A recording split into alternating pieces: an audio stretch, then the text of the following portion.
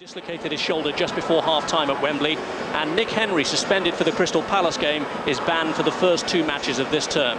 There are five league debuts, veteran Paul McGrath and new Greek signing Vasilis Borbokis in defence, former Blackburn man Nicky Marker in midfield. Up front, it's a debut second time around for Brian Deane, and young Wayne Quinn replaces Mitch Ward, who would have been in the starting lineup, but for straining his back in training towards the end of the week.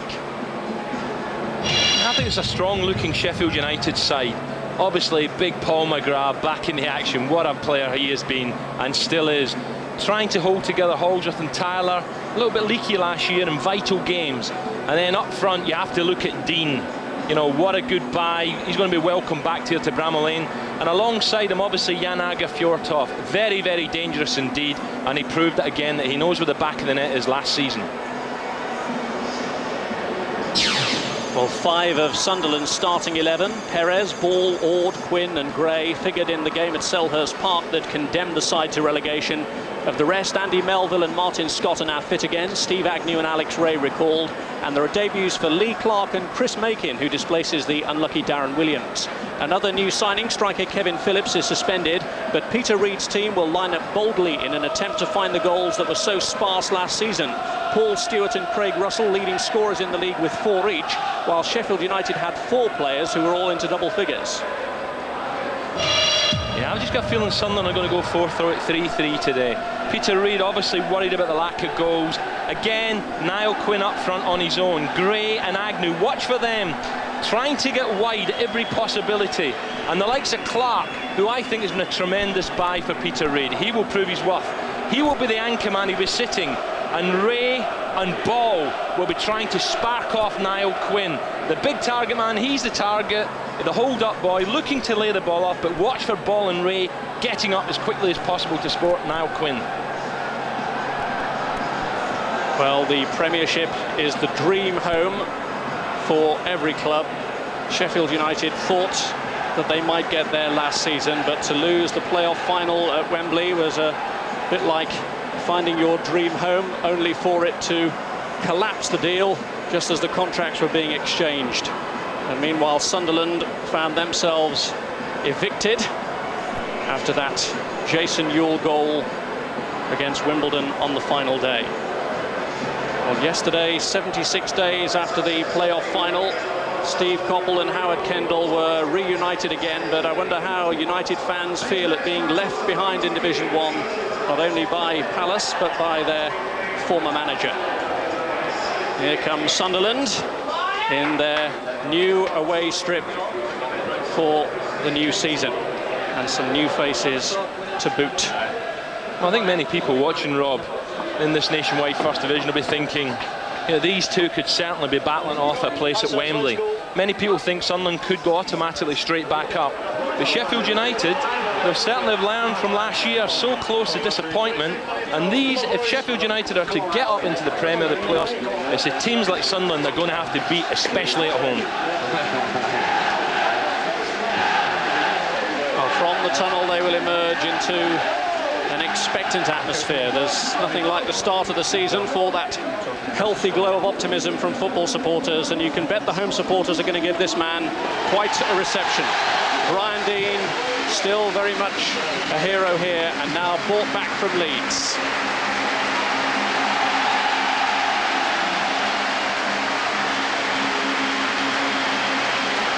And here comes Brian Deane. A great welcome back for him.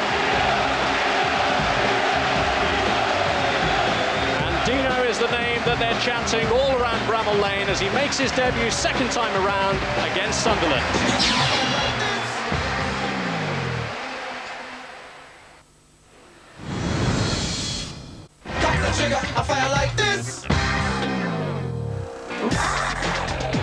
Welcome back. It's a glorious day at Bramall Lane and our first live league nationwide match of the season is about to start. Sheffield United and Sunderland, our commentators Alan Brazil and Rob Hawthorne. This the start of an extra long season with the World Cup to come in 1998 and at the end of that season the man over the ball for Sunderland here, Lee Clark, might hope to be involved in Glenn Hoddle's plans having been called up to the squad for Le Tournoi on the day that he joined Sunderland. And the 1997-98 season is underway here at Bramall Lane. This is Richard Ord to Martin Scott back in his hometown of Sheffield. Quinn and Mark Patterson in there for Sheffield United. And we didn't expect to be saying that about Mark Patterson this season because Patterson was seemingly on his way to a move at the back end of last season when he joined Southend on loan. Yeah, fiery little competitor, loves to mix it in that midfield. Here's Tyler. Make it.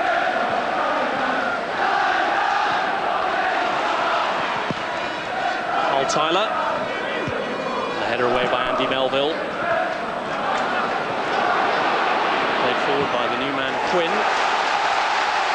And clearance by Richard Ord for the throw-in.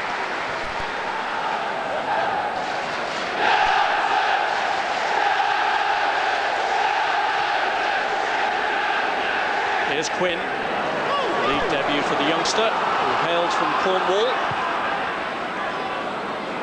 And there's the other Quinn, the more familiar one, Niall Quinn, who's bound to prove a handful to the Sheffield United defence today.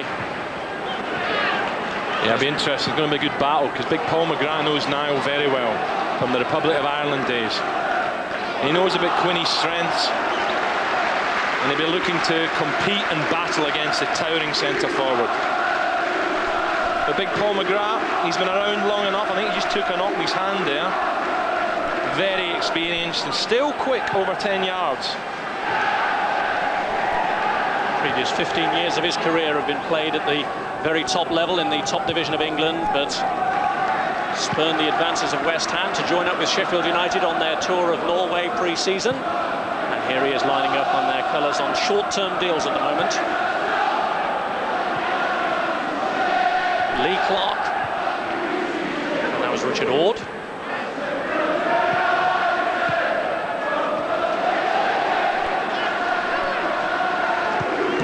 It's a Sunderland throw.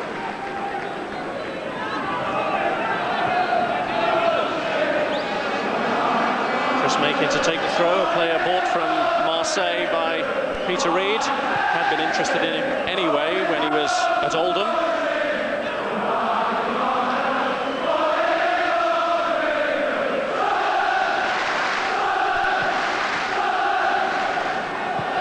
Here's McGrath. The header back from McGrath goes to uh, Simon Tracey, who got the unexpected call for Wembley when Alan Kelly was injured, and Kelly's still suffering with that knee problem, although a lot of the speculation locally is surrounding a possibility of a move for Kelly to reunite with his old manager Howard Kendall at Everton. Tracey now facing competition for his place from Andy Dibble, who's on the bench.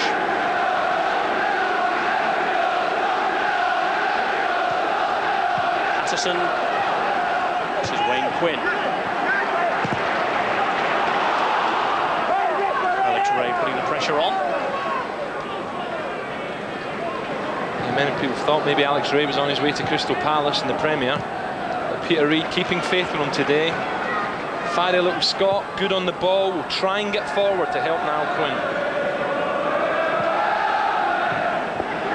Here's Agnew.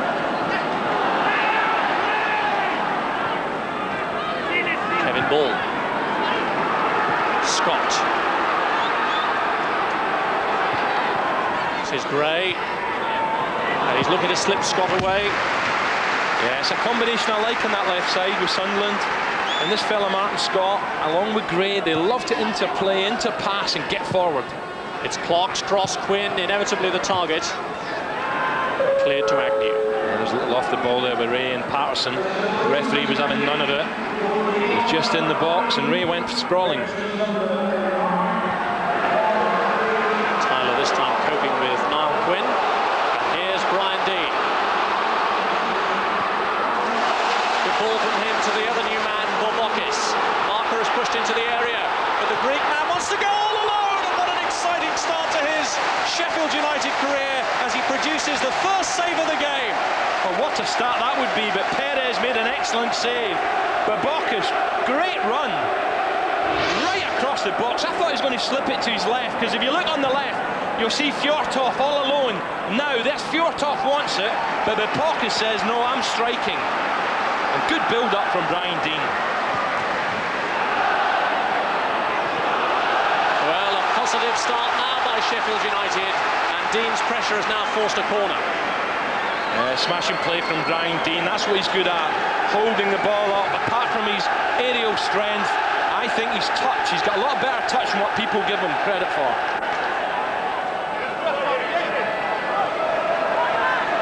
Quinn is forward. It's Dane Whitehouse with the corner kick. Brian Deane. Here's Cleared by Makin. Bit of light relief for Sunderland. He certainly looks as if he wants to get forward at every possibility, Borbokis. Just even again there he got the ball and he was looking to probe into the Sunderland defence. Here's Nicky Marker. Carl Tyler for Sheffield United. David Holdsworth. Too high for Deane. In slides Makin. Wayne Quinn sticking tenaciously to his task. He's done very well, the youngster. He's got the cross in, and there was real confusion there between Perez and his defender, but somehow between them they managed to scramble it away. Ward for a moment looked as though he'd got in the goalkeeper's way. Yes, a bright start from Sheffield United. Good home record, United. And they're certainly going to test Sunderland out today.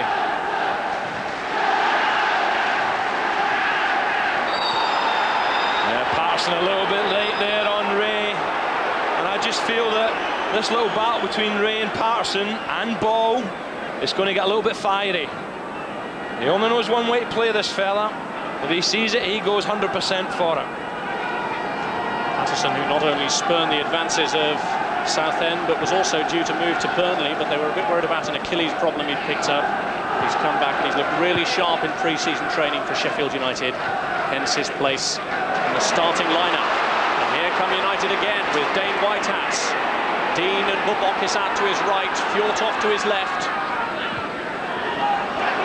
Fjortoft round but not round Agnew. Well, I think Fjortoft must be delighted with the new summer signings, Brian Deane alongside him. And obviously Borbokis, the way he's trying to get forward. And this fellow will definitely take a weight off Fjortoft's shoulders.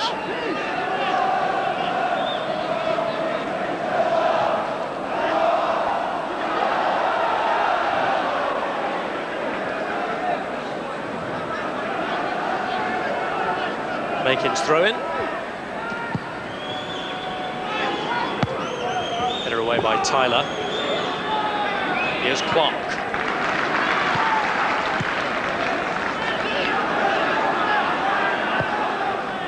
Melville finding Scott.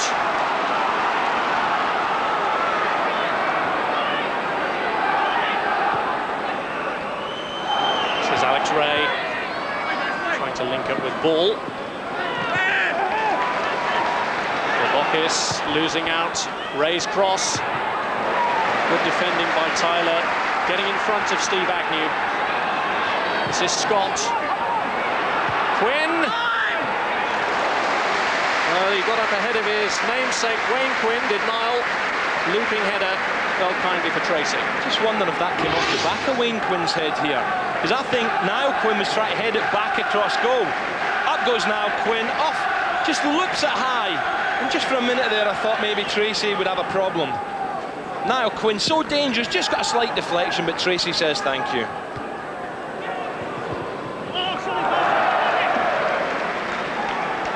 Right start from both teams and Niall Quinn there with his first attempt. Peter Reid says it's like having uh, another new player in the squad, having Niall Quinn available from the start of this season. He was so badly affected by injuries last season, a serious knee injury that he picked up early in the term. Oh, given away by Ball. This is Dane Whitehouse, who's playing a lot more in field than we saw him last season. The tackle This is Patterson. Here's Borbokis. He's already set the pulses racing once with one run. He gets his cross in. Marker misses. Wayne Quinn.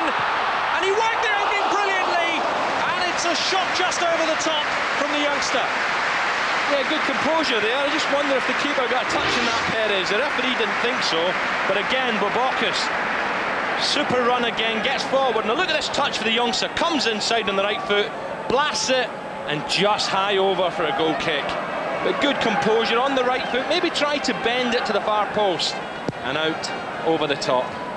Wayne Quinn, who was given a chance on the Norway tour and also came on for the second half of the pre-season friendly against Blackburn, which Sheffield United won 2-1.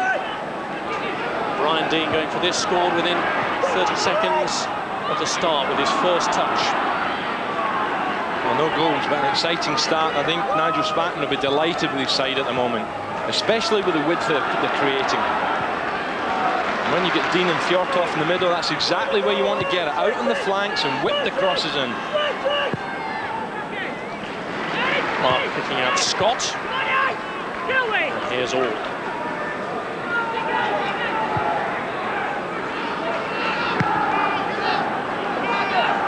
Makin.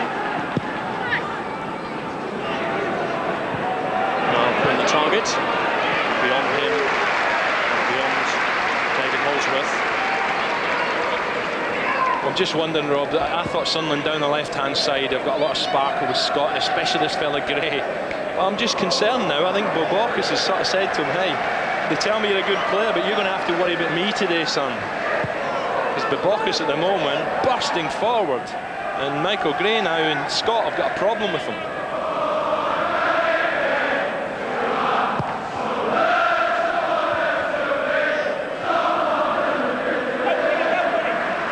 Ra. Headed back by Andy Melville. I think this midfield battle, Rob, is going to be uh, tremendous today. And I just, I'd like to see uh, Lee Clark, you know, it's Sunderland's new signing. I'd love to see him more on the ball. At the moment, he's the, the game's sort of passing on by. He normally likes to control the ball with the ball at his feet and picking out passes. But at the moment, it's bypassing him.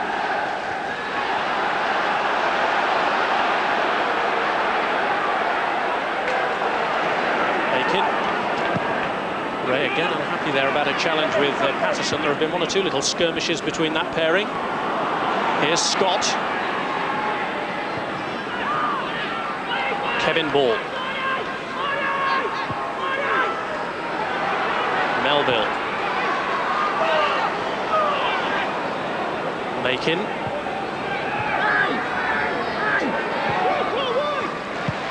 This is Agnew. Well, it almost fell kindly, but uh, Alex Rae just couldn't connect. I think I think Sunderland are going to slowly build this up. Rae almost on the end of that. Again, try to get in the box, Alex Rae. But Sunderland with their patient build-up, whereas Sheffield United are a little bit quicker getting forward.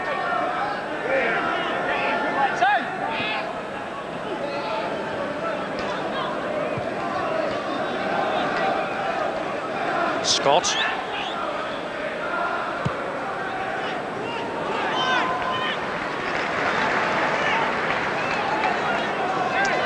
It's uh, six weeks since Sheffield United lost the services of Howard Kendall. They've only just advertised the job, and Nigel Spackman's hoping that if they get off to a good start to this season, then his hopes of filling the vacancy permanently will be considerably boosted. Yeah, he's a lovely fella, Nigel. Good player. Maybe the, his age is just getting a little bit too much for him to play now, but in his day, quality midfield player, and I wish him well. Well, he's obviously been taking the best soundings before taking on the job. He's been speaking to uh, Glenn Hoddle, who in his time was a player manager, and although Spackman's registration has been retained, he's decided to concentrate on the management side of it, certainly at the beginning of the season. I think the players now begin to slow down a wee bit because I promise you, it's hot up in this gantry and it must be boiling on that pitch. Yes, there have been searing temperatures throughout this first weekend, which means that energy conservation is a vital part for the players. Clark now looking for Quinn. Looked a decent ball, but uh, maybe the heat already getting to Niall Quinn. Yeah, Clark will try and find them. You know, you give him a little bit of space in the ball, Lee Clark, clever player. Good quality control, but also will hit them long-ranging passes.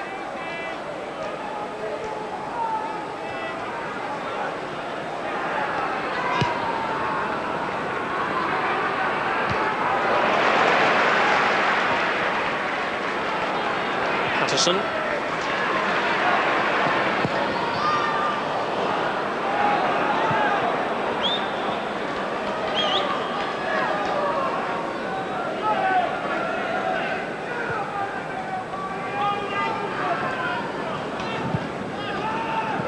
Here's Clark.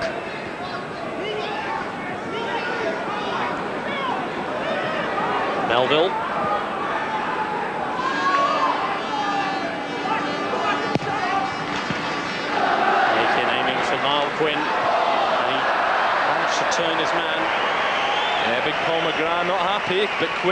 Job well there. He is a handful, such a big lad. Holding up, but Paul McGrath saying the ref, come on ref, he's backing into me. You can see Quinn holding up, was a handball, gets half a yard, but can't hit the target. Quinn and Paul McGrath, who were lining up in Ireland's colours together at Italia 19, know each other very well, exchanged a friendly word or two before the game. Headed by Deane.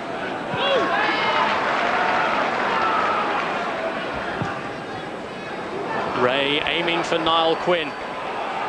That's the problem Sunderland have got there. Rae hit him fine, Niall Quinn towering above defender, but no one in support. It's difficult, it's a, a dilemma Peter Reid has got. He wants more goals, but he does like a solid midfield. But now and again, someone's got to make that charge, that chance to get up with Quinn. Well, it looked like handball from Rae, but the referee's let play go on. I see, no, he hasn't. He's uh, consulted with his assistant, and Simon Tracey's appeal is vindicated. Yeah, interesting there. Now Quinn was shaking his head, Rae was shaking his head. It was a handball, we'll see that. Tracey whacks it, and clearly left-hand save. One up for the referee, George Cain from Bootle.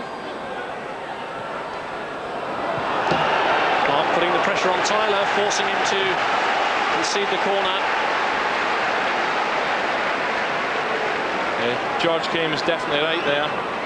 But Tyler was a little bit silly there. I thought that was complete, blatant obstruction. And can they pay from this corner? It's Gray with a corner, the big guns forward. Richard Ord came in, headed away there by Tyler. There's a good header from Tyler there. Had to make it.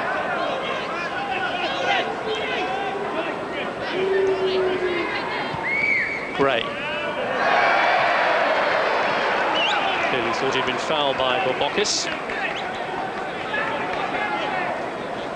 Well, this meeting of the two managers, Nigel Spackman and Peter Reid, brings together former Merseyside rivals, but also former teammates. They were together at Queen's Park Rangers for a good nine months, joined within a few weeks of each other and left within a few weeks of each other. Spackman to go to the other Rangers, north of the border, and Reid to go to Manchester City. Yeah, I spoke to him last night, Peter, and he's under no illusions how difficult this league will be to try and get back into the Premiership. And it's a hard start for them, away to Sheffield United. They've just gone a little bit quiet last couple of minutes, Rob, after a good opening from the home side. Here's Holdsworth with the throw.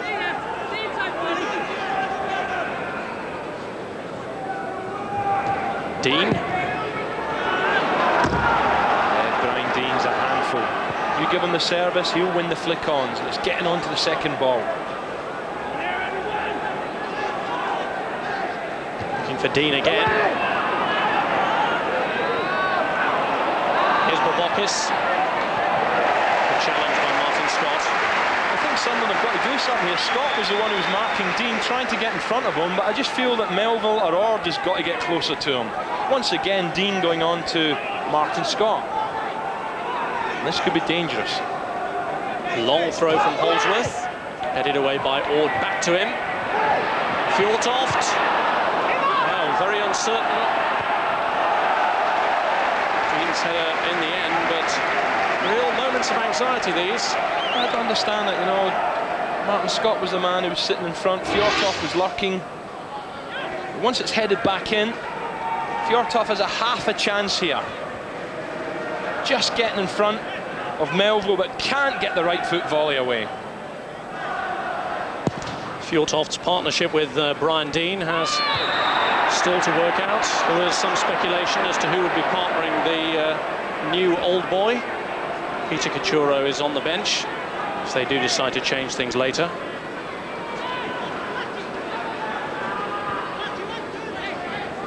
This is Scott. Clark. Alex Rae. Patterson snapping away once more. Some fans like that. They like Rae. He's a player with um, tremendous ability. Clark looking for Quinn. Here's Kevin Ball. Back to Niall Quinn. Well, it was a thunderous effort. What a goal that would have been. I'm not, I'm not quite sure that Kevin Ball meant to play that back to Niall Quinn. It was, it was someone too. But now Quinn, wasting no time, thinks, right, this is, this is a nice height. I'm going to hit this right-footed. Gets a good strike. I think it was always going high, but it wasn't too far away.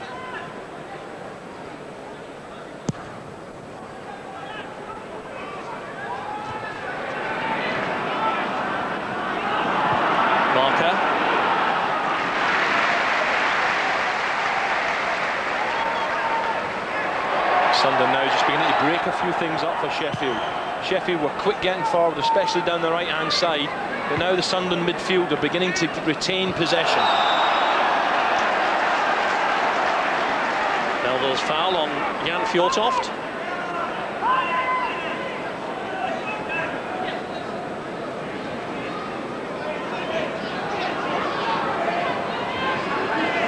Deane or Fjortoft. Neither picked out as Sheffield United played short. This is Wayne Quinn. And header away by Niall Quinn, but uh, the flag was already up. Yeah, Quinny, whether it been defence or offence, very, very strong in the air. Had his fair share of injuries, as you said, Rob. And I think when you're as tall as Niall Quinn, I think taller people do tend to get more injuries. When you're small and maybe better balanced, you can ride tackles, or if you fall, you bounce up whereas big, tall strikers sometimes have a problem. Quinn was injured after the first eight games of last season, but uh, came back as the last rites were performed on Sunderland's Premiership season. As part of the team at Selhurst Park that got relegated.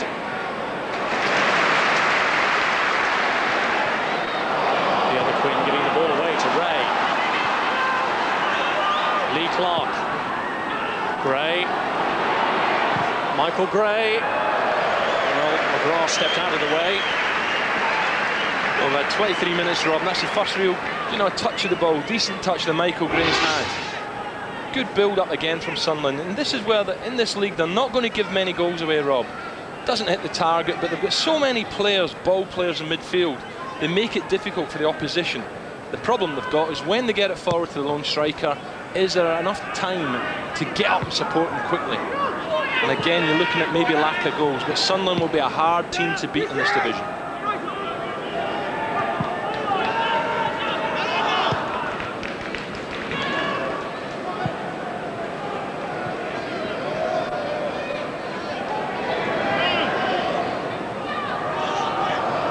Here's Wayne Quinn.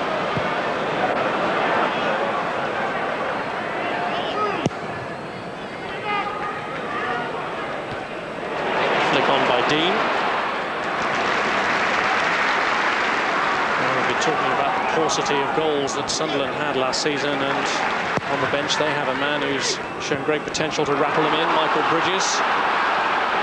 Got a hat-trick in the reserves in the week against Crook Town. That attack, what I'm saying, that just emphasised what I'm saying, Rob. You know, Quinn with a great layoff, Gray flies up the left-hand side and immediately whips the ball into the box, looking for this fella. But Michael Gray just had to use his head a little bit there. Quinn was the one who laid it off. He couldn't possibly get in the box.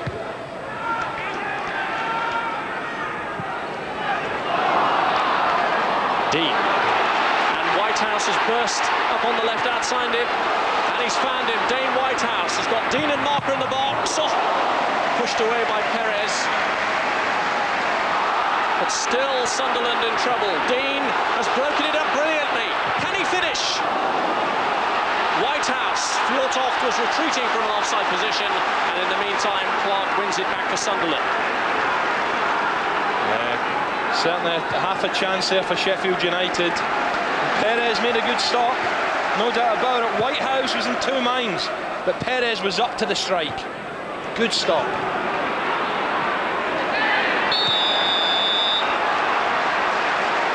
Foul on Nicky Marker.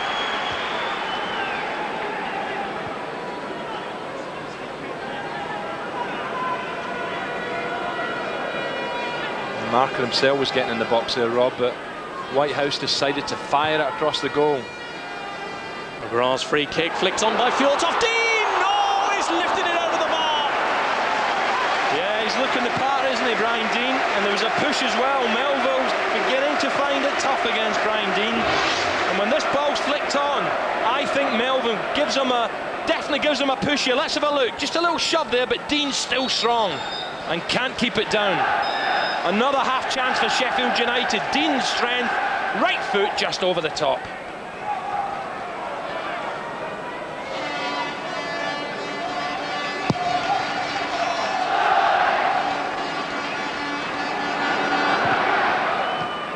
Anderson.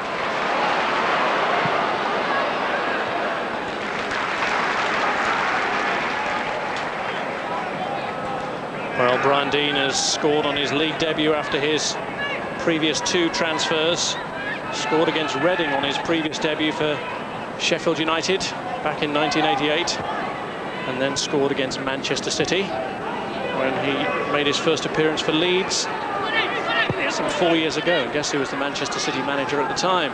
One Peter Reid, who was then sacked 12 days later, just four games into the new season. Yeah, I think a lot of City fans wish he wasn't. And that's nothing against Frank Clark, but I think people felt he wasn't given a chance at Manchester City.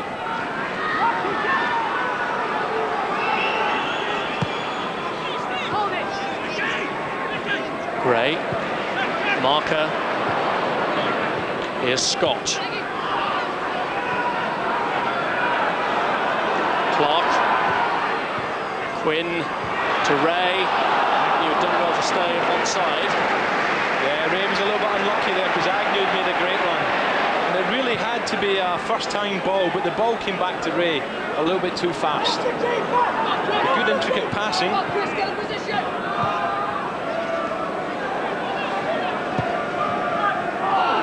Rae. This is Niall Quinn. And Kevin Ball this time has stayed onside. Michael Gray up in support. Can he provide the service that Sunderland have been looking for? Just beyond ball. Wow. And Kevin Ball, that was a chance because I felt Kevin Ball was offside. The linesman down to our right wasn't given it. And had Kevin Ball's touch been good, Sheffield were in trouble. There's no doubt about it. Gray coming inside. Loads of time in the ball, shaping up against Holdsworth. Comes inside. Have a look there. And if Kevin Ball had controlled this well, he was certainly onside. This was a time. This this time, Sunderland did get midfield players forward, and I'm sure Peter Reid's encouraging them. When you see the chance, get forward, take a chance.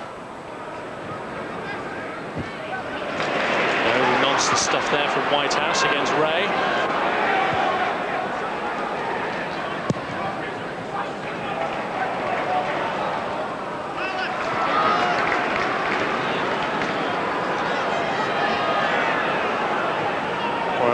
Sunderland have certainly had the better of it so far. I think the home side started well, Rob, but suddenly now Sunderland's with uh, the congested midfield. There's plenty gold jerseys in there, beginning to not run the game, but getting more on top. United flying out the blocks again. Deane's cross. Oh, Borbokis' effort. And he's thwarted again. But Borbokis certainly isn't afraid to get into the right sort of positions. Wow, where did he come from? Incredible. One minute he's back there watching Michael Gray. Deane gets a lovely touch. Look at the Borbokis lose his marker.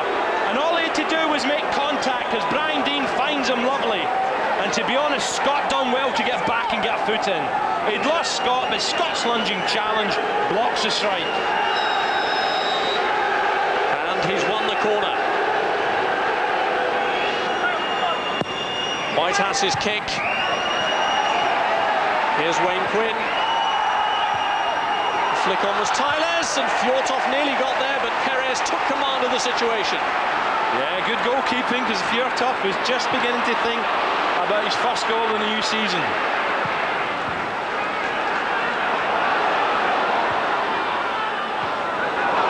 Well won by Patterson from ball. Cleared by Melville. Sunderland really with their backs to the wall at the moment. They've been a lot more controlled in their play, but in terms of excitement in flying out of the blocks, it's been Sheffield United who've set things going. Here's Gray. Ball's turned up again in a useful position, slipping in behind marker. But Gray couldn't get it across to him. Here's Borbokis. Whitehouse. Now Wayne Quinn.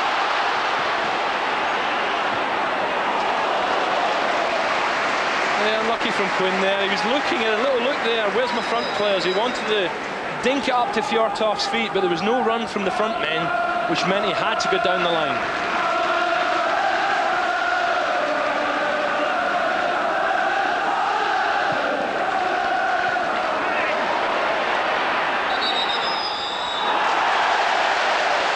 Fjortoft winning the free kick. Where some people felt last season Fjortoft was overplay acting, diving, trying to get other players in trouble. Let's hope he's too good a player. Let's hope we don't see that this season.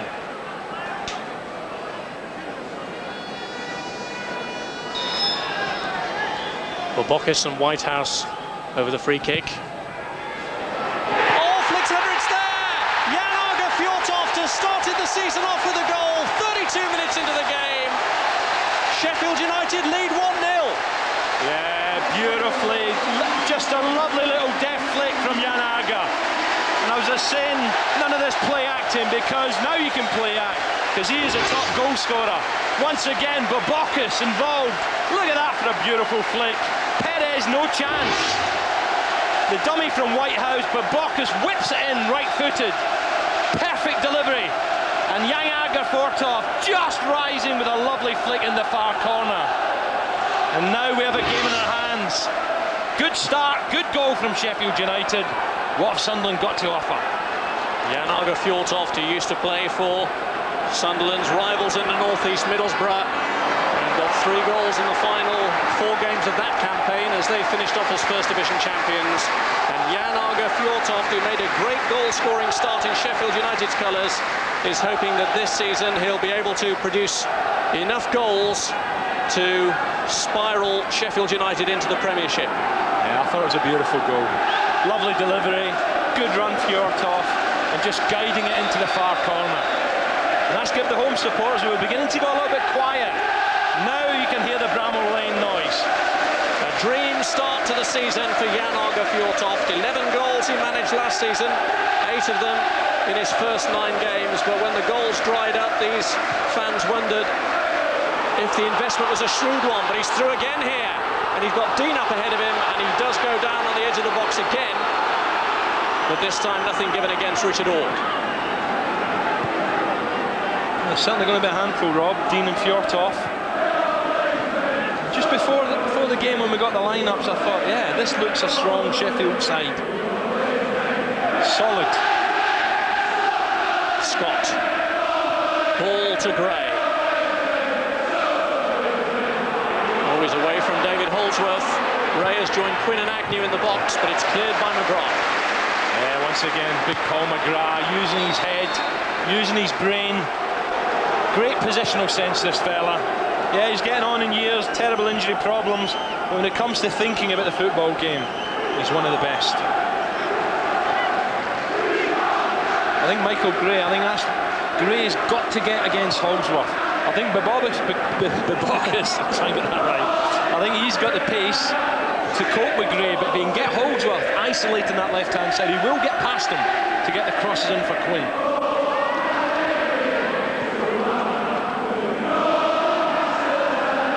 Clark.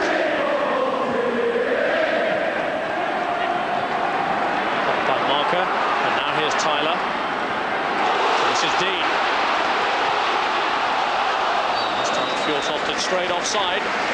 Yeah, it will take a little, take a few weeks to get this understanding. Perfectly right, but Deane showing tremendous strength here. Fjortoft wanted it earlier, but Deane couldn't deliver this time.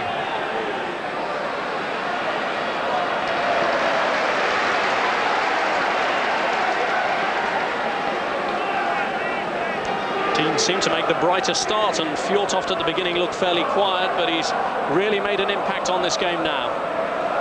He's a goal scorer, isn't he? He just sniffs out chances. He knows where to, to be in the right place at the right time.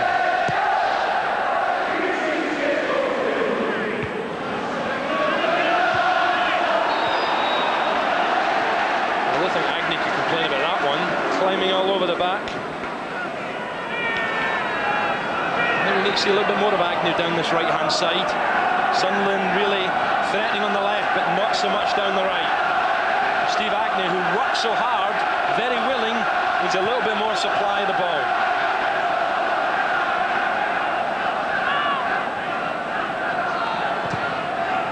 Patterson aiming it towards Brian Deane, and Perez came and lost it, and Ward got him out of trouble. I was just about to say good goalkeeping there because I could see him racing off his line. At the last second, just dropping it with the presence of Deane around him. Made the right decision to come, Rob, but this fella's presence, he just couldn't hang on to it. Long, hopeful ball. Perez spotted it early, out he came, and just got underneath it. And that was a let-off. Fjortoft. Borbokis has again turned up in a central striking position. Deane was the target.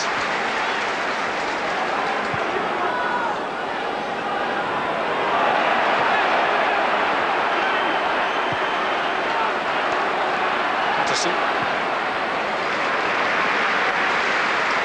More football coming up for you later on Sky Sports 1. Tottenham against Manchester United, the opening game of Super Sunday at 3 o'clock. First Monday night football of the new season, Arsenal against Coventry from 7 o'clock, and then Tuesday it's the Coca-Cola Cup with Queen's Park Rangers against Wolves, first round, first leg tie at Loftus Road. That's on Sky Sports 3 from 7.30. A corner here to Sheffield United. Their opening goal came from a free kick. What can they make of this set play? Borbokis available for the short one for Dane Whitehouse. But he's opted to float it straight in. And again, Perez had a player in his way. It was Niall Quinn.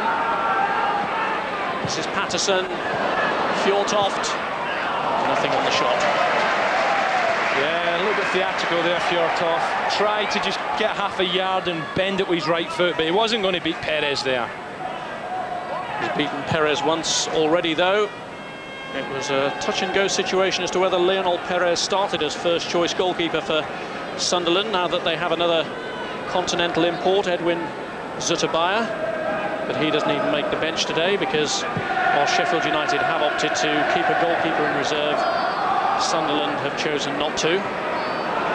Quinn shaking his head there. It's difficult for that fella up there, you know, he's battling to win these flick-ons, and when he does, he needs support. And again, no one alongside him. Well, Agnew and Gray have switched sides for the moment. That's McGrath's clearance. There is Agnew.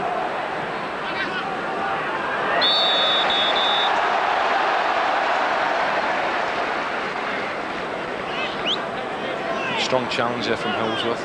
Actually, a few months ago, Holdsworth would got far in advance, but I've seen him down on the right wing trying to get crosses in. So Nigel Spackman, there's no doubt about it, he said to his, his chaps, look, if you feel like it and you feel like going forward, stay forward, we'll cover for you.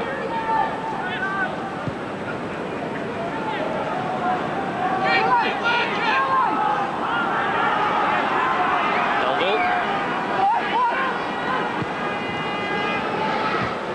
To McGrath. Lee Clark.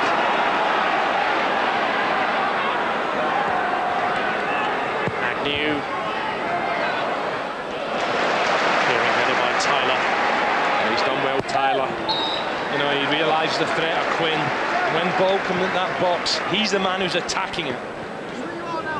Carl Tyler paired again in the Sheffield United defence with Paul McGrath, with whom he played at Aston Villa, although for one reason or another they only played a handful of games in the same team. That was a challenge by Scott on Borbokis, which has produced a yellow card for Martin Scott, the Sunderland defender.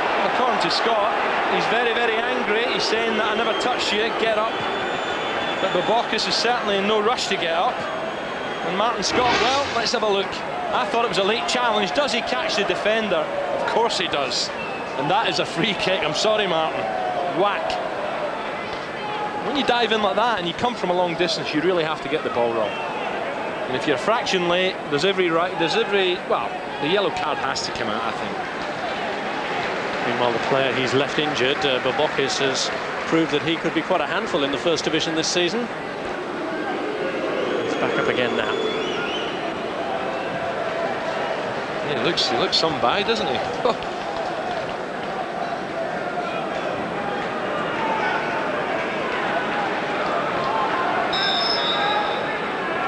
Holdsworth with the free kick.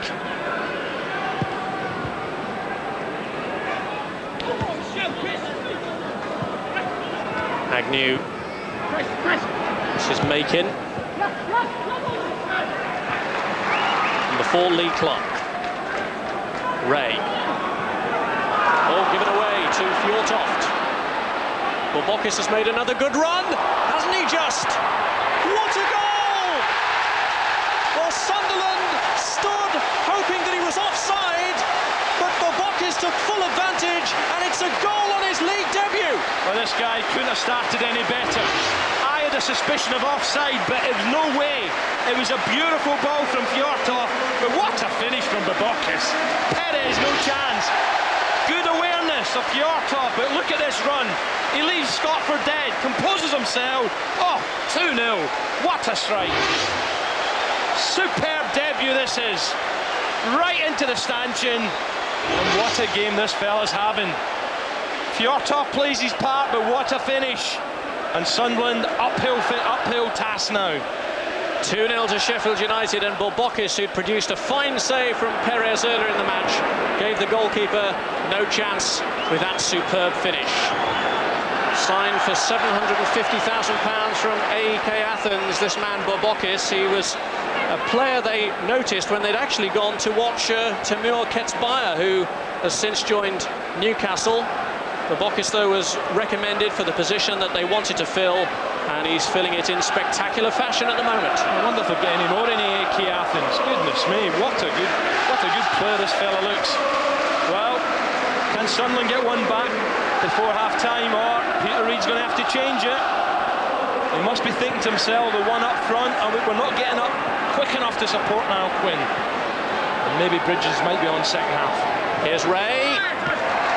Just trying to give a little bit of hope to Sunderland before half-time, but it's not to be. And Nigel Spackman must really be preening himself at the transfer activity in which Sheffield United have engaged over the close season. I must be delighted. Peter, Peter well, Leicester. it's a long season, he knows that, Reedy, but he won't be happy at the moment, two down. I just wonder, I get the feeling that down the right-hand side, Agnew, we're not seeing a lot of Agnew. Perhaps if someone's to be sacrificed, it may be him. Clearance by McGrath.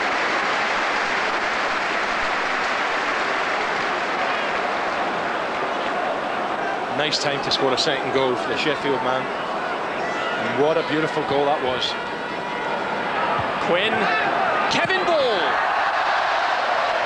Well, Kevin Ball, in the game we covered uh, the new stadium, Stadium Ally against Ajax, he was the one for me, surprised me. He was getting forward so much to try and support the lone striker, and once again arriving in the box, just couldn't keep it down enough.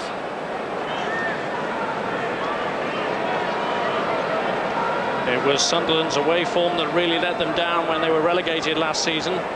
Starting with their 5-0 defeat at Old Trafford in December, they won just one of their last 11 league games away from their home then, Roker Park. And this doesn't look like the most auspicious of starts at the moment. They're not having enough chances in front of goal for me, Rob. Bridges, I think, is a certainty. If he doesn't come on at half-time, it won't be long into the second half. I just wonder who could be sacrificed. Ball, uh, he, he likes to sit there tough in midfield, whereas Gray, we've not seen too much of Gray, have we? With no real telling runs or telling crosses into the box, which you need when you've got Quinn in there. Into stoppage time in the first half. Here's Quinn.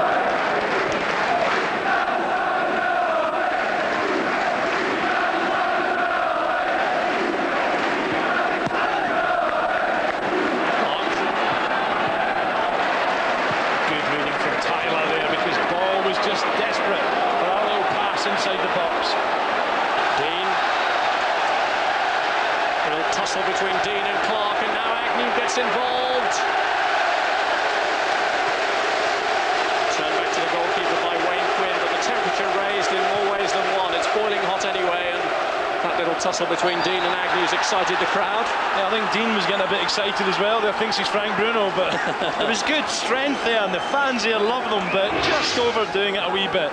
Poor old Agnew, he's the one that comes off with. Clark goes in, but Deane's body strength. Now Agnew goes in to join in. And Deane tries to be a little bit clever, tries to throw a dummy, and all of a sudden it's um, out come the handbags here. And Agnew's the one who ends up in the deck. Deane very strong, and down he goes.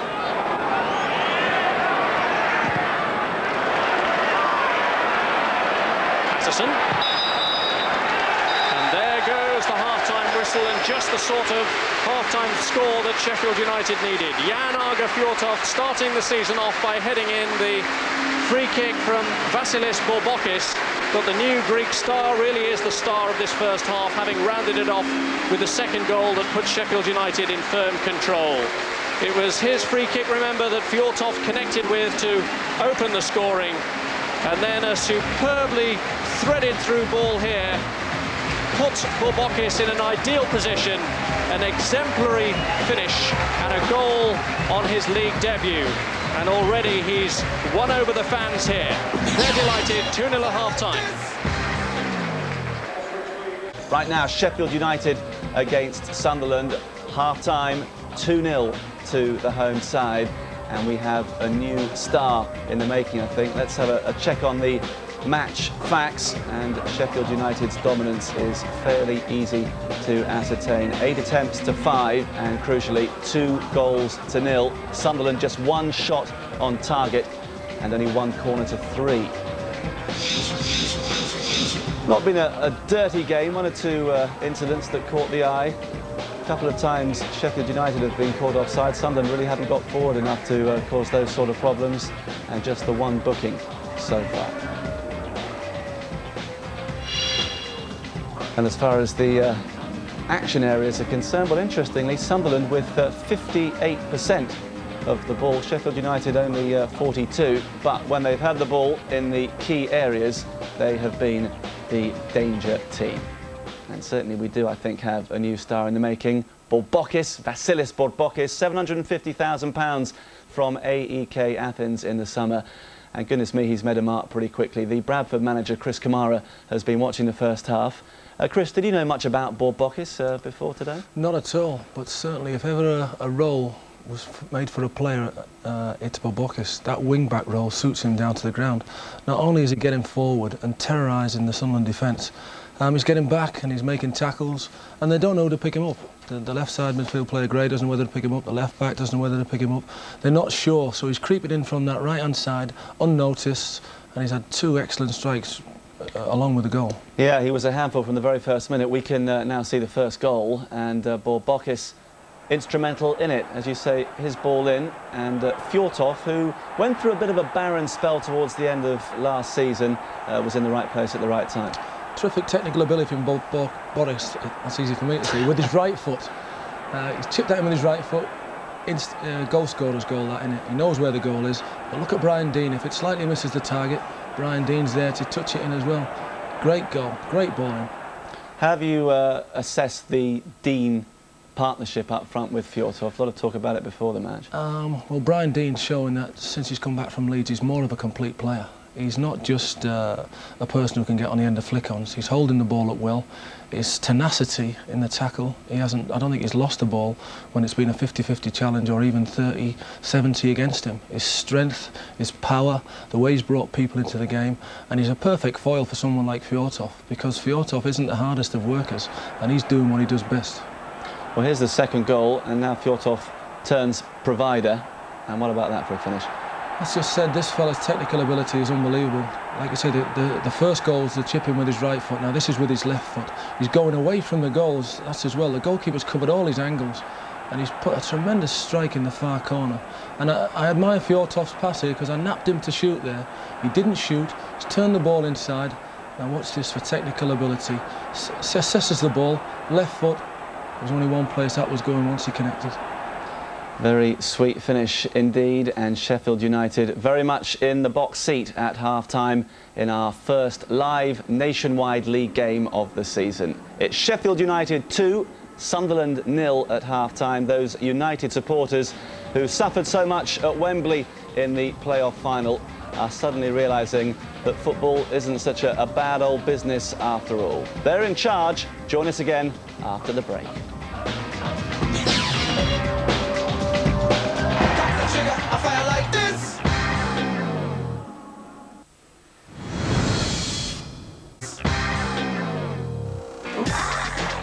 A reminder of the big Premiership game coming up today at 3 o'clock over on Sky Sports 1, live from White Hart Lane. Spurs take on the champions, Manchester United. Today at 3 on Sky Sports 1. Right now, Sunderland have to find a spark from somewhere. 2-0 down at half-time. There has been a substitution. More on that from our commentators, Alan Brazil and Rob Hawthorne. Sunderland need goals and Michael Bridges has shown himself adept at getting two when coming off the bench before. He did it against Everton last season, he did it against Huddersfield the season before and he's coming on for Kevin Ball now in an attempt to get the goals that Sunderland so desperately require. And you like this man, don't you, Alan? Yeah, I do. I've not seen too much about him, but what he has got is genuine pace. And he does like to always, he's always looking for that ball over the top to try and get in behind the likes of McGrath and Tyler he will definitely cause them more problems. Along with Quinn, I think it's the right choice. It's easy to say it 2-0 down, we have to make a, a, a, change. But I think Peter Reid said, right, it's not working, we're not getting forward enough to support now, Quinn. Go on, son, get alongside Quinny and, and worry them with your pace. Well, the fact that Kevin Ball has gone off has necessitated another change, and that's in the captaincy, which has been taken over for this second half by Richard Ord. I just felt maybe Agnew, you know, he wasn't involved too much offensively. And I felt he might have come off, but Peter Reid obviously feels that Kevin wasn't, you know, wasn't digging enough, wasn't seeing a lot of the ball, and wasn't getting him forward to support Quinn enough. Full start to the second half. Brian Deane a bit over-enthusiastic. Sheffield United do get this uh, second period underway. Visibly lifted by the two goals that they've scored and the crowd really reveling in the performance of Borbokis, the new man. He and Fjortoft have been involved in both of the goals. Borbokis set up the first for Fjortoft and the uh, compliment was returned for the second. Whitehouse retreating from an offside position. Headed back by Melville. Perez there very quickly picking the ball up and getting rid of it quickly. Which obviously goalkeepers now have to be very careful with. What I'm puzzled about, Rob, is the rule is between, you know, they're saying five or six seconds. That is ridiculous. How can you make a rule five or six seconds? It's either five or six. I was at a game yesterday where every time the goalkeeper picked the ball up, the crowd counted for the referee. I think they should leave the rules alone, mate. Well, Lionel Perez will have some sympathy from today's referee because uh, George Cain actually used to be a goalkeeper.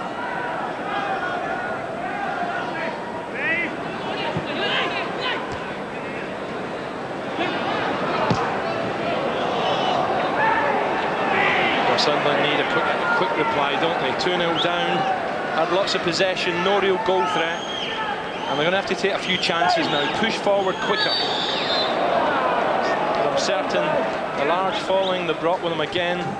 Must be, you know, they, they must be really concerned about lack of goals.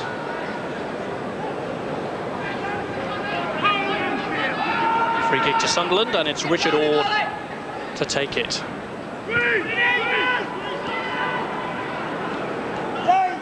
Andy Melville. Makin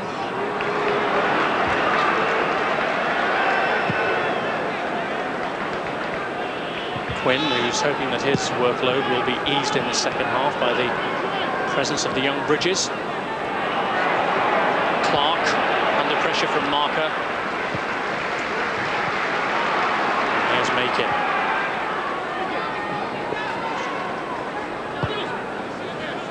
Clark. Ord.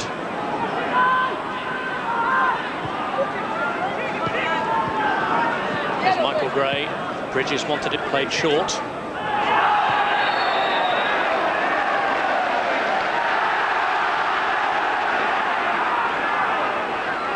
Possibilities here for Sunderland with a free kick.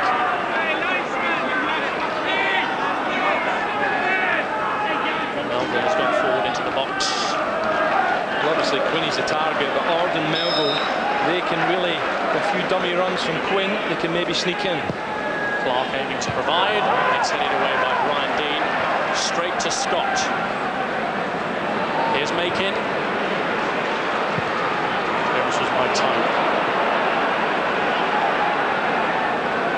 I just get the feeling, you know, we're the top of Sunderland's midfield, but I just feel that Sheffield United, especially with Patterson, he's been the man who's really I think, been destroying once again on the ball again, this little fella. He's the one who's been making it difficult. A Lee Clark ball who's now been substituted and Alex Rae. He's got through a tremendous lot of work, Rob. Agnew. Rae. Patterson in on him again. Clark. Scott. Agnew. Clearance from McGrath, comes back to Bridges. And it's gone behind for the corner. Feel here, Sunderland obviously looking for a way back into this match, and Sheffield United have started very slow the second half. Sunderland need the early breakthrough if they're to have any chance at all of getting all three points in this fixture. It's Clark's corner. It's Melville's header. Rae going for it. Yeah, Rae and Quinn both sort of getting each other's way there. But really, you know, that's that's probably Sunderland's second shot on goal. Something like that tells you a story. Melville at the far post gets it forward. Quinn and Rae both going for it, and that is certainly not going to trouble Tracey.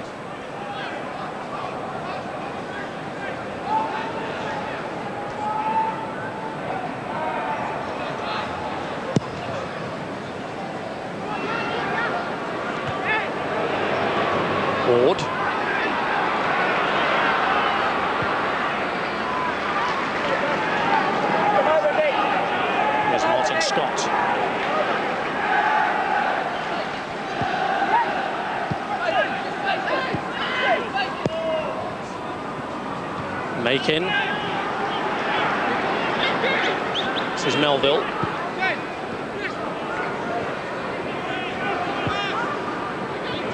Rae. This time he got away from the snapping Patterson and from Whitehouse too. Yeah, Alex Rae will be very disappointed there. Gets through a lot of work, Alex Rae. Good quick feet, but when you get wide like that and free of Patterson, the final ball's got to be better. Oh, that's a dangerous header back. Fjortoft. I think that was a case of having too much time on the ball there, Rob. Fjortoft acknowledges sorry, says to Brian Deane, because that was certainly a mistake in the Sunderland defence. Fjortoft gets onto it quick here, Melville heads it back. Fjortoft quickly looks up, he sees Brian Deane, but the left peg, well, it didn't work that time. Fjortoft not making the most of it, much to Andy Melville's relief.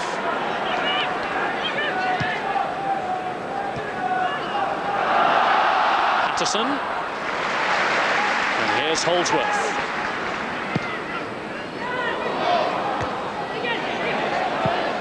Scott. Clark.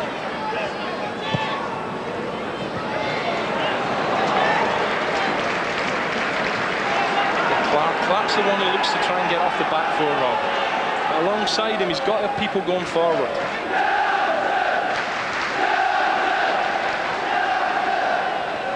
Deane. Here's Patterson. There's acres of space for Quinn. Quickly closed down now by Makin. This is Mark Patterson.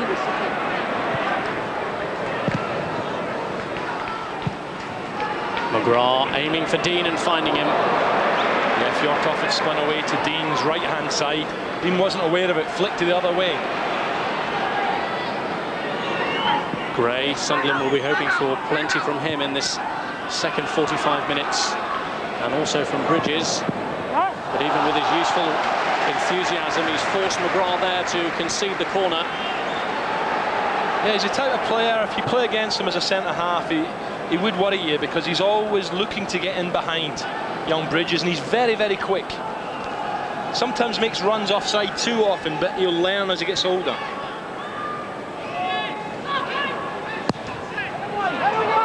Clark's corner. Quinn. Clearance by Nicky Marker. You can almost see, Rob, when Quinn does win the headers down, you can always see him despairing as a Sheffield United player picks a knockdown up rather than one of his Sunderland teammates.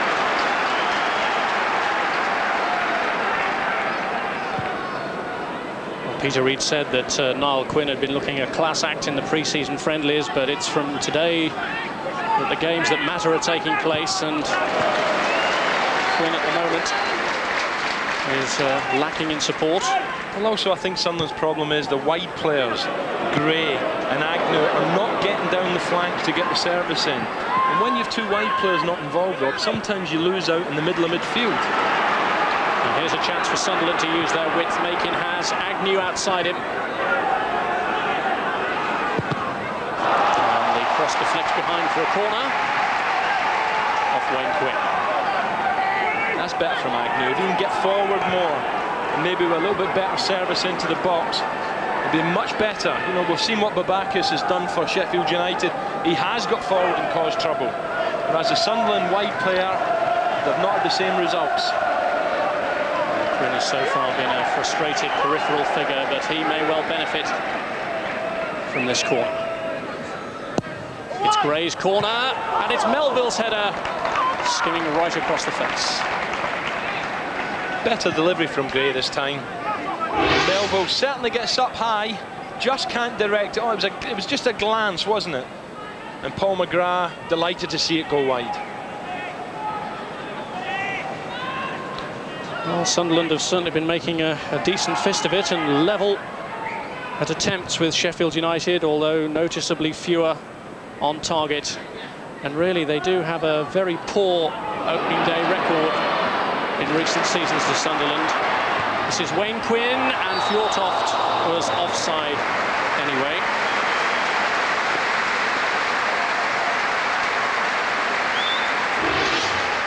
Think that uh, Nigel's got to be delighted with his new signings. Quinn, obviously come through the youth ranks. Just Fjortoft, you can see clearly, half a yard offside.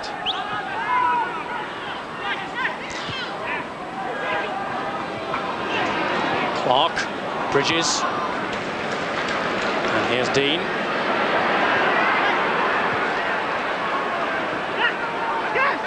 Agnew has won the free kick just getting a bit frustrated, Sunderland, aren't they? Because Sheffield United are pulling, tugging, snapping at the heels, really putting them out of their rhythm.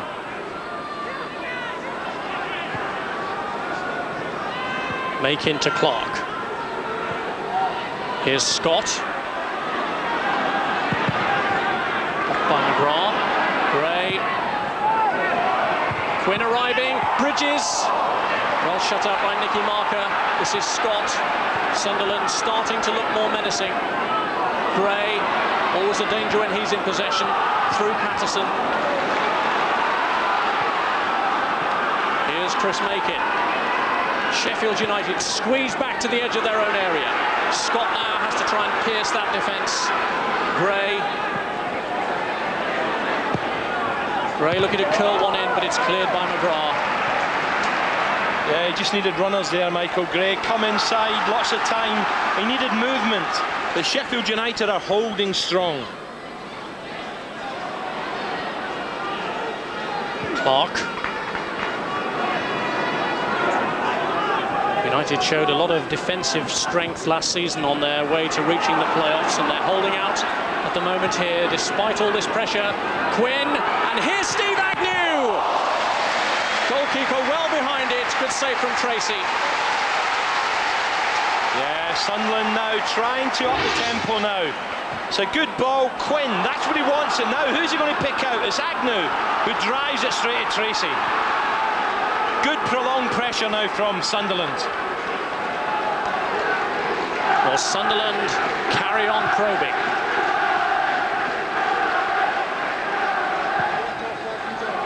Agnew then was offering real hope.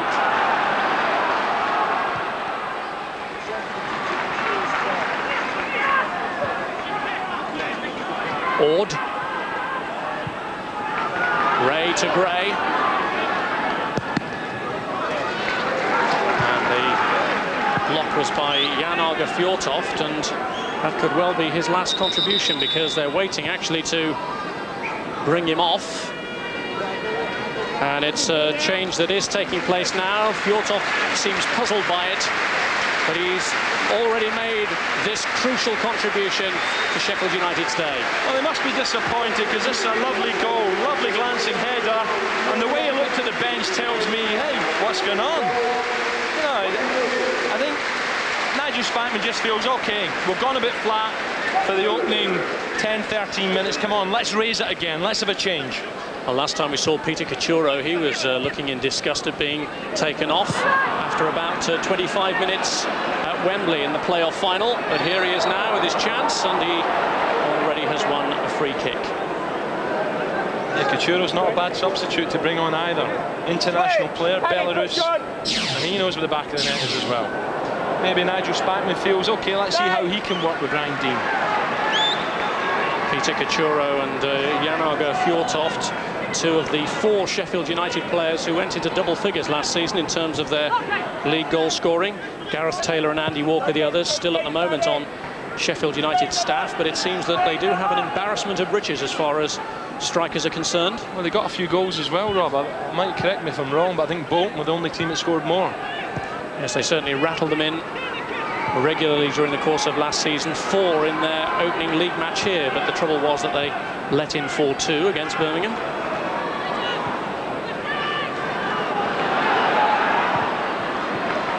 Here's Scott. Header away by McGrath.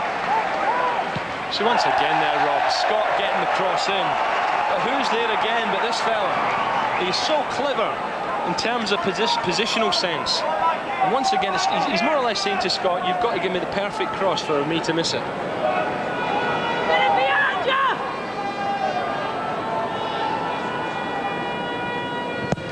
Gray's corner.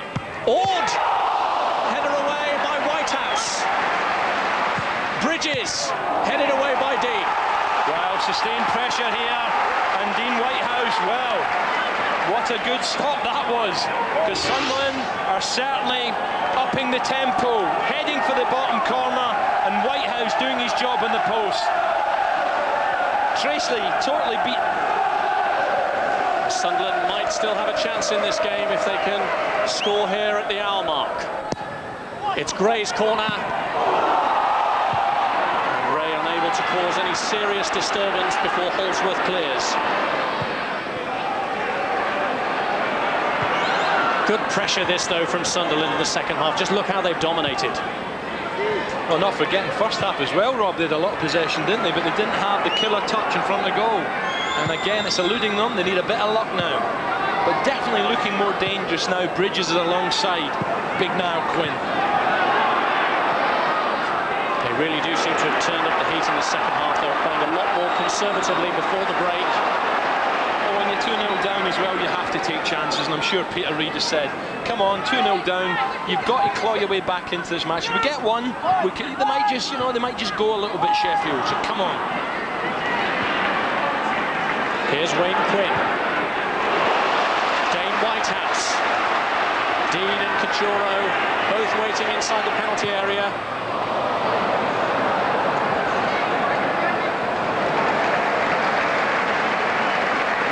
Yeah, we haven't seen a lot of Whitehouse getting forward.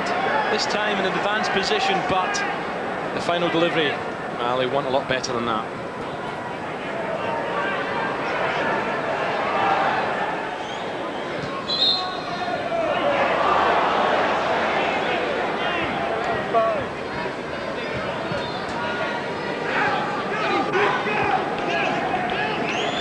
Clark.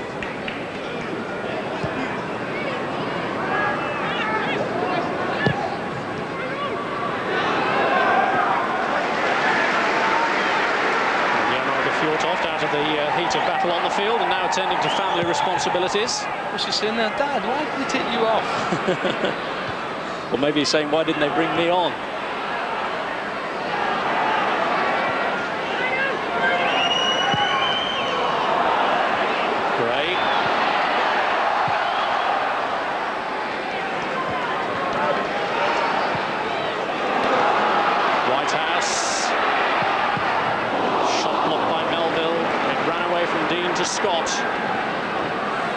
to Clark.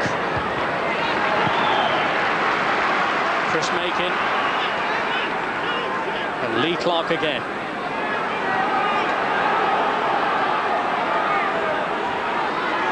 Yeah, looking for runners again, isn't he? Loads of time in the ball possession. Give me something. Make my mind up for me, sent his teammates. Bridges called for it and got it from Makin. Makin has gone into the box McGrath again showing his great experience. It's the 37-year-old against the youthful impetuosity of Michael Bridges. There's no doubt he's not as fit as he used to be, the big fella, but Bridges trying to test his pace. As I said earlier, over 10 yards, Paul McGrath is still very quick.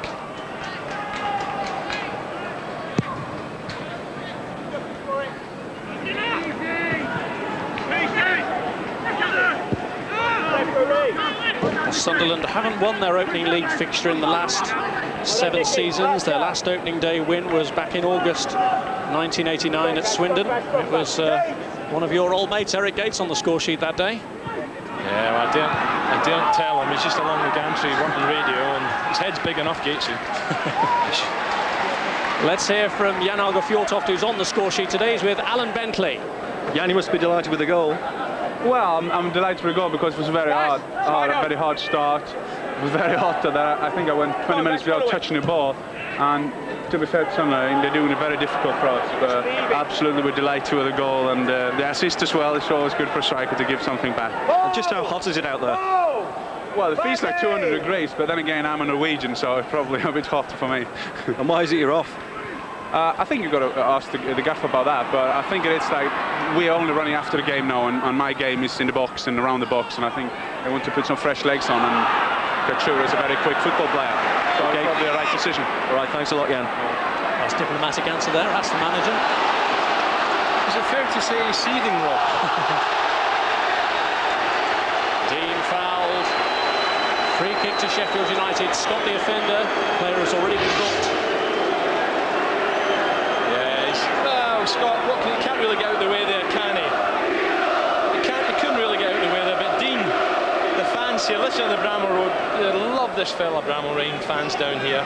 Brian Deane, I, I, hate to say it, but I think Jan Åge, uh, it's a case of who plays alongside Deane, Fjørtoft or Katchouro.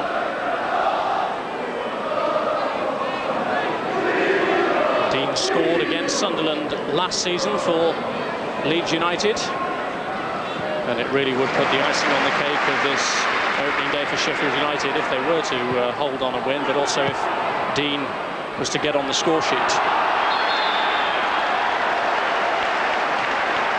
Yeah, Melville feels no way ref, but Katchouro was certainly, again, it was from behind. The defenders must, you know, they must remember that if you go from behind, you don't get the ball clean, it's a free kick. Patterson taking the responsibility of it. Headed away by Ord. Here's Brian Deane.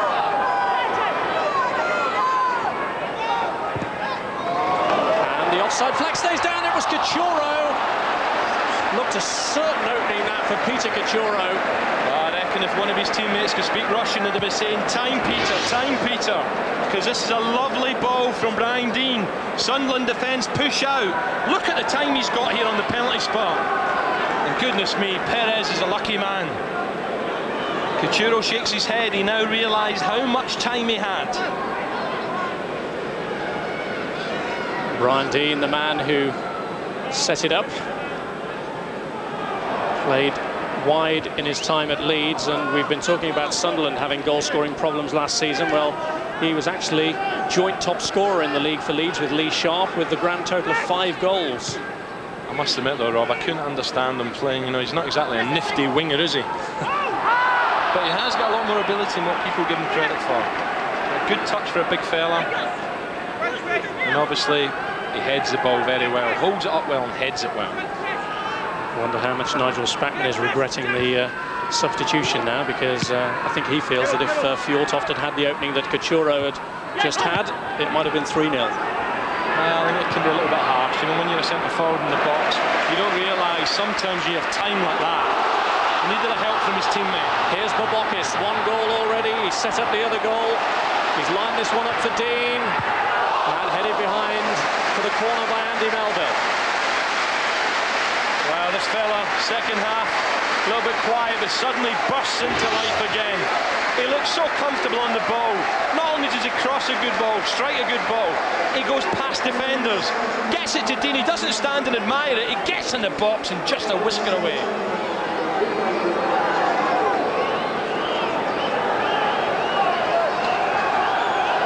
He's waiting at the edge of the area now. Sheffield United have their latest corner. There's some real wrestling going on between Ord and Deane in the box. Headed away by Quinn. Well, the referee had a good look at that, Rob. I think he felt it was six or one, half a dozen of the other. Now he's telling them, calm down. White Whitehouse, four waiting in the penalty area. Can he pull it back? Oh, Katchouro's missed another great chance. Well, it could have been 4-0 now. Katchouro could have had two, and how bitterly he must be regretting that miss. Well, I, tell you who's very angry. Richard Ord. Look at the way he just skips past Ord there. Katchouro for sure has to score there. Seven yards out. But look at defending of Ord. This is not good enough. Peter Reid won't be happy with that. Beautiful cutback from Whitehouse. What a glorious chance that is. Supporters Player of the Year last season. They'll be uh, asking for the uh, award back if uh, he keeps missing sitters like that. It was interesting there, Rob, because Deane and Ord were having a bit of a bash with each other, weren't they? Tugging, pushing. And Ord was certainly, he was distraught about something because the way Whitehouse just walked past him for the cutback, goodness me, had that gone in, Sunderland were biddied. As it is, they still have a glimmer of hope in this game. 20 minutes left. Scott. Rae.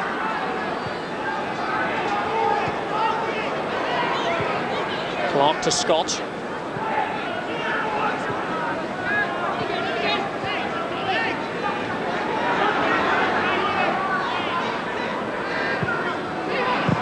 Cleared by McGrath.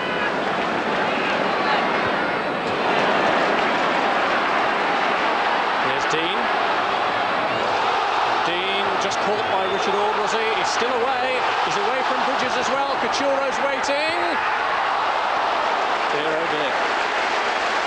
Yeah, once again, I don't know how, how, how good Katchouro's English is, but Dane Whitehouse was right behind him. And all I had to say was leave it, but great work again from Brian Deane. Who says the wide position's a bad one for him?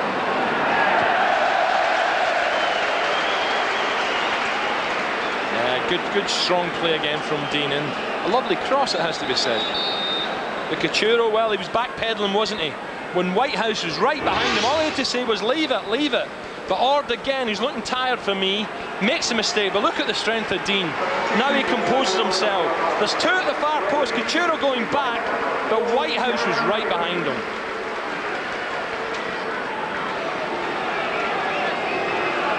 Chris Byrne is coming on for Sunderland. And they've taken off Alex Rae. And Byrne is a newcomer to the Sunderland squad this season. He was playing with Macclesfield, helped to shoehorn them into the league at the end of last season. In fact, scored a hat-trick on the last day within 20 minutes at Kettering that uh, helped to clinch them that tremendous feat. He likes to get forward as well, Rob. And I'm only seen him once, but it looks as if he's got a little bit of pace as well. Well, he played in that uh, opening game at the Sunderland Stadium of Light when he produced a, a good save from Edwin van der Sar. They need inspiration from somewhere, Sunderland. I just feel, Rob, it's the width, Sunderland's width, they're not getting the best out of the two wide players. Quinn. And again, Niall Quinn. This is Martin Scott. Too short for Quinn. The header away was by Patterson. Churo and Wayne Quinn initially in each other's way.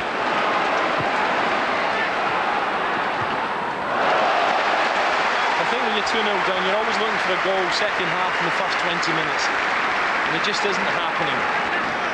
Sheffield United very happy to sit back, and at the moment they're taking everything that Sunderland can give them. Desperate for a goal, Sunderland.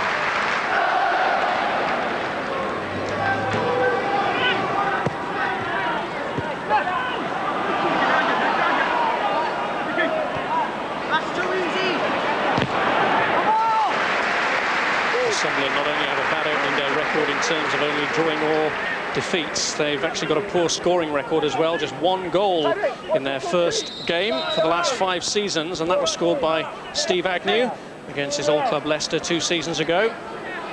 He loves to get through a lot of work, Agnew, but today it's mainly been defensive rather than offensive. Hasn't really performed in an attacking role on the right-hand side. And as we see, Gray is the same. He hasn't got forward too often with telling crosses on the left. Bokis held it up well. Holdsworth against Michael Gray, and he's beaten him. Oh. Great clearing header from Makin just as Whitehouse arrived. You have to say, tremendous skill.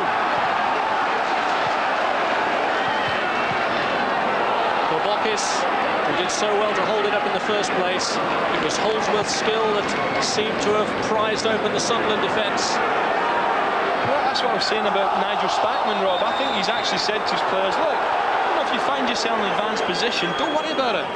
And great play there from Holdsworth. Unlucky it wasn't three. Yeah,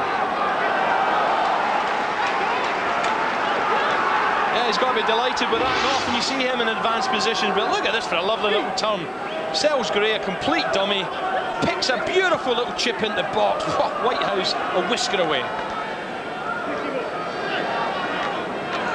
Quarter of an hour to go. Long throw in towards Quinn, but it's Wayne Quinn who's there. Brian Deane.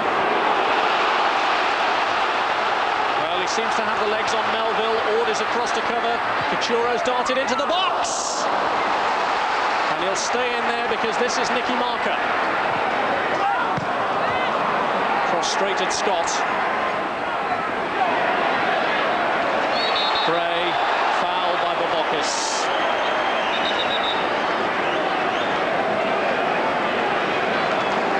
Well, he couldn't have impressed much more than what he has done in this opening day of the season. Great strength, but now look at the pace. He has a look, Katchouro's now arriving and tries to find the Belarus international just too high. Brian Deane. Here's Agnew! Oh! Well, they probably possibly won't get a better opportunity than that to score in this match. Right in front of the Sunderland fans, they were out their seats as Agnew goes for the far post. All of a sudden loses his marker, has a look, right across Tracey, but that's six inches too wide. The right foot of Agnew, that could have put them back in it. A goal at this stage of the game, and who knows what might have happened. Steve Agnew sporting the Attilio Lombardo look, and uh, maybe Peter Reid will be losing his hair with many more misses like that. Yeah, that was that was the one. That had gone in, they were back in it. Deane! Felt it was worth a snapshot, but you can see why Deane is such a favourite here at Bramall Lane. Has been uh, showing great commitment throughout. Yeah, he looks happy to be back. And his fans basking in the sunshine. Well, one set are enjoying it. Of course, both sets in red and white. Sunderland fans, well, desperate for a goal. Agnew's cross. Well, at least he's seen a lot more of the ball now, Agnew. Here's Borbokis. Katchouro. Given away by Borbokis to Agnew. And Patterson in quickly to steal it from Byrne. And here's Deane again. Now, can he crown this performance? Turned away by Makin, who was appealing for the goal kick, but the corner is given. Yeah, good challenge back from Makin, but Deane just took it a bit wide there. Decided that the shot, the angle was too acute, decided to come back on himself, but what a threat he's been. And just to close things up now, perhaps Sheffield United making a change. They're bringing on Roger Nilsen, and they're taking off Wayne Quinn, who certainly played his part on his debut. Yeah, definitely. The youngster. You know, I think it'll all be about Deane and Borbokis, but the youngster played his part today. Borbokis' corner headed away by Makin. And Nilsen gets his first touch. Borbokis inside Agnew. Oh, ambitious. Really is a busy player, isn't he? Do you know what I love about him? He loves. He looks as if he's so comfortable on both feet. Gray. Turned away by Patterson. I just wonder is there a sting in the tail again? This fella's worked his socks off today, Patterson. They don't want to be losing a goal now.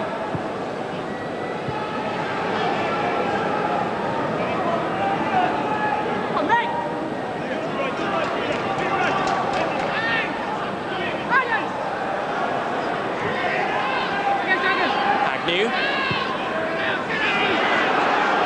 Makin. Good hit. Superbly tipped away. Well, just when I thought he's a long way out, that was heading for the top left-hand corner, wasn't it? Or Makin's top right. Because he this, realises he's not going to be closed down, has a look, right foot, heading for the top corner. Good touch from Tracey.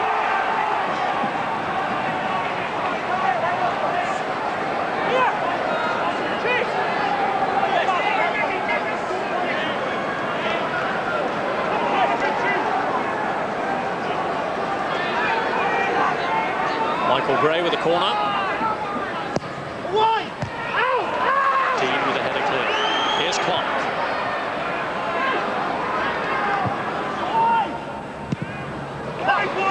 Clearance by Nilsen, but uh, Sheffield United would still be under pressure. Deane. How's that for a touch, eh? Big fella, lovely touch.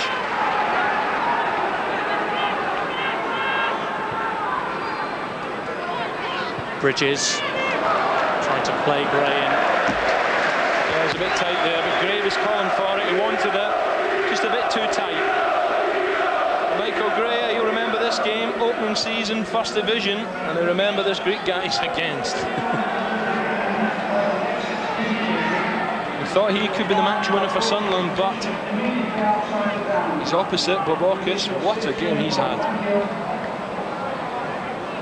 Seems to be an underexploited uh, market. Greek players. We've uh, had Borbokis come in following the lead of Donis at Blackburn. But uh, seems to be a market that Sheffield United are keen to exploit. They've signed another one, Traianos Dellas, the Greek under-21 captain. A deal that's been completed. And he's expected to make his entry into the first team very soon. Game's changed now, Rob. You know, English clubs are scouring the whole of Europe now. And then you look at Terry Venables, the whole of the world over in Australia. Or should I say Terry Fenn? The two Terrys.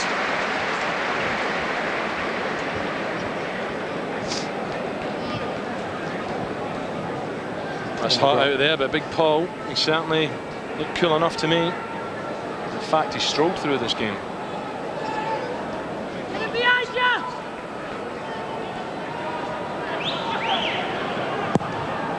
Gray delivering. Tiler there before Niall Quinn. I think back there, Tiler and Holdsworth were prone to the odd mistake, and I think Paul McGrath in between them, with his talking, his experience, might just you know, firm that defence up. On this performance, you have to say Sheffield are in for a good season again.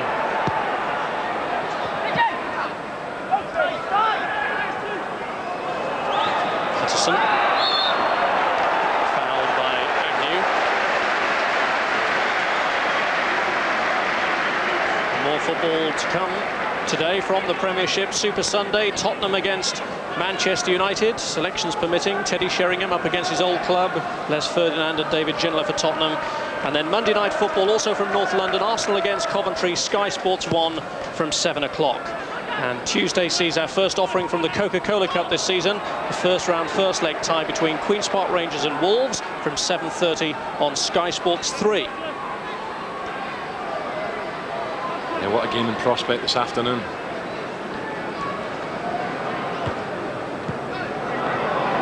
It's hot, hot here in Sheffield. I imagine White Hart Lane's going to be red hot. I think Teddy Sheringham's going to feel a bit of the um, the local uh, the local support.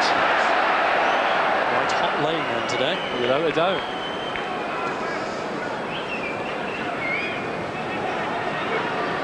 Well, I hope they've uh, got the factor 25 on.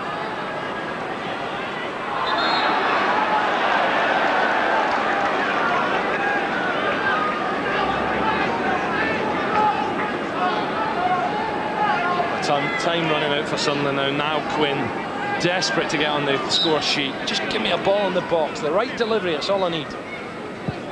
Scott aiming for him. Clear. Here's Katchouro. Nilsen.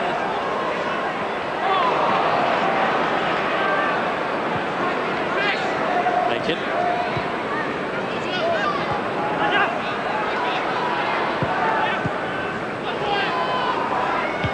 Agnew Nilsen. Here's Scott.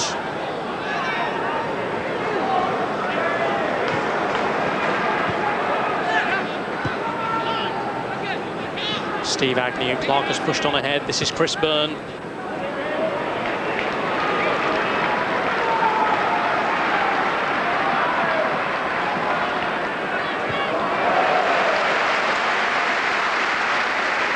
Once again, Patterson. We're going to have to pick man of the match soon, but this fella, he's had a cracking match. Two candidates will come into the reckoning, no doubt.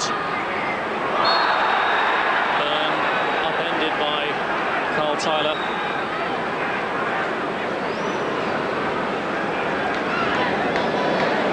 Scott can hit these. Clark might fancy a chance as well, the bender. But they really do need a strike on goal. Tracey's had too little to do in this match.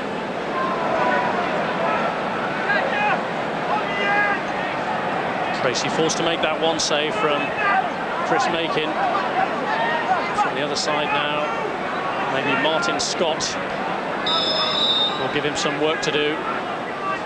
It is Scott, it's too high. Yeah, trying to get Currow to the goalkeeper's right hand upright. But, well, not on target for Martin Scott.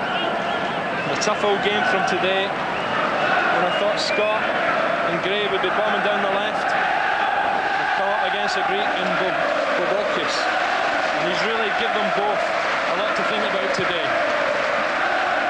It's been a disappointing return to his hometown for Martin Scott, certainly unless there's a dramatic revival within the last four minutes.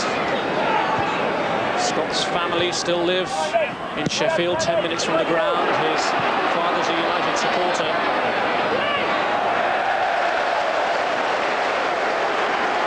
Ward conceding the throw-in.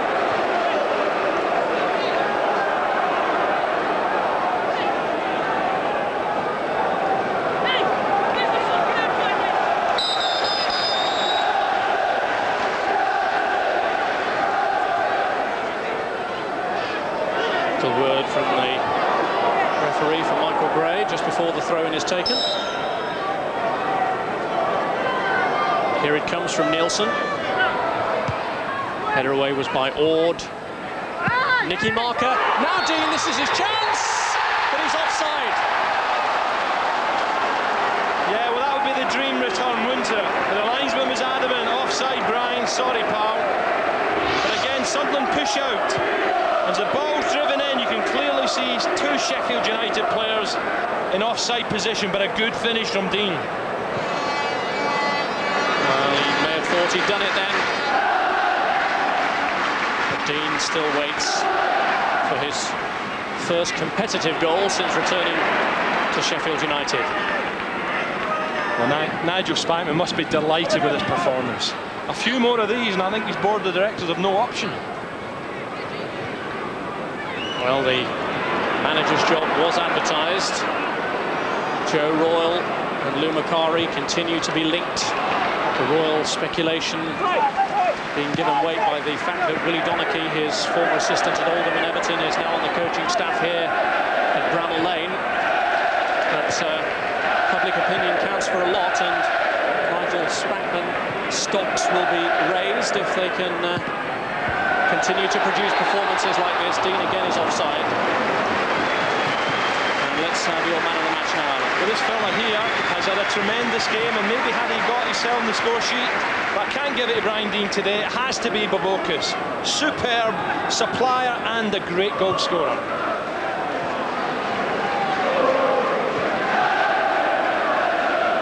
Scott.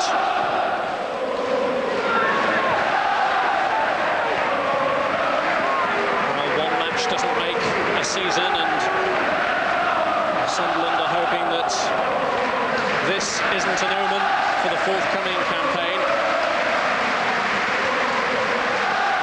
When they were last promoted two years ago, they began with a defeat at home by Leicester and only won one of their opening five league matches, lying 19th in early September, but they lost just one of their next 16, and it's that sort of run that Sunderland will be hoping for to propel themselves into contention in a very competitive First Division this season. But this will be an excellent start for Sheffield United.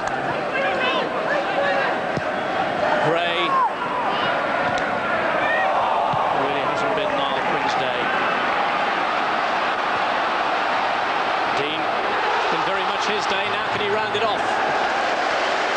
Yeah, just showing that Perez had to be quick there, but Deane showing pace again against Richard Ord, who's highly thought of at Roker, or the new stadium of light. But Deane really has improved his game so much since the transfer to Leeds United. I think he's back here as a better player. Brian Deane was on the staff the last time that Sheffield United gained promotion. His, his influence to tell again. but Borbokis, he's brought his influence to bear on this game and is doing so again. Great skill from Deane! And Perez foils him. But that was a wonderful piece of build-up with Borbokis and Deane this time. Well, I tell you what, Rob, I think there's a few managers on their way to Greece on the plane. What a player this fella looks. And Deane, lovely turn, but you have to say that's a good stop from Perez. Into stoppage time, Perez prevents the score from being widened still further. Whitehouse with a corner, above Katchouro and Scott. This is Patterson feeding it back in, the flag is up! Deane's header came back off the bar and uh, even had it gone in, it wouldn't have counted, but the referee has allowed the advantage, seeing as Sunderland have ferried it clear. Well, no goals for Deane today, but you can bet your boots on it. There's going to be a few coming in the forthcoming weeks. Scott for Sunderland. Tracey's ball despite the pressure of Niall Quinn.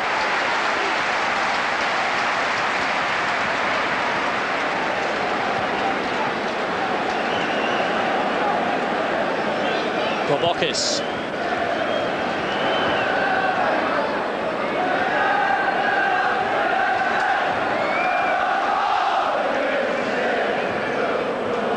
Gray.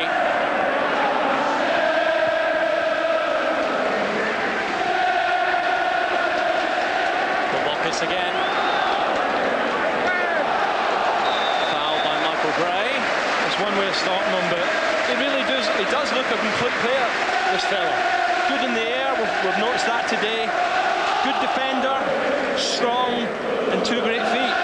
Well, He loves to get forward. You say Howard Kendall course, set the wheels in motion for the transfer of uh, Borbokis, and it looks quite a, a lasting legacy that uh, the former manager has left, despite the uh, unpopularity of his move to Goodison Park.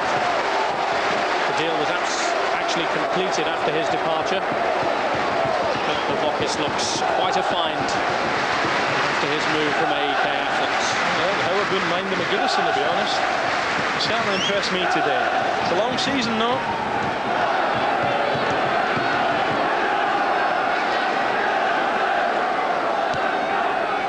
Marker.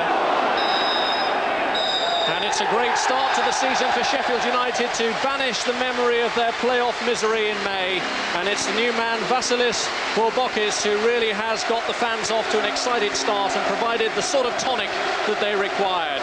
Made the first goal, scored the second, and ensured a winning debut second time around for Brian Deane. Hugely popular figure, brought back from Leeds, had a goal chalked off for offside, but certainly played his part in a win that will lift the confidence of United's fans who were so depressed by Crystal Palace at Wembley in May. Final score, Sheffield United 2, Sunderland nil. Rob Hawthorne and Alan Brazil in the commentary box. Yes, the perfect start for Nigel Spackman and Sheffield United after their Wembley misery. It could have been a lot more than 2-0 by the end and plenty for Peter Reid to ponder, not least where are the goals going to come from.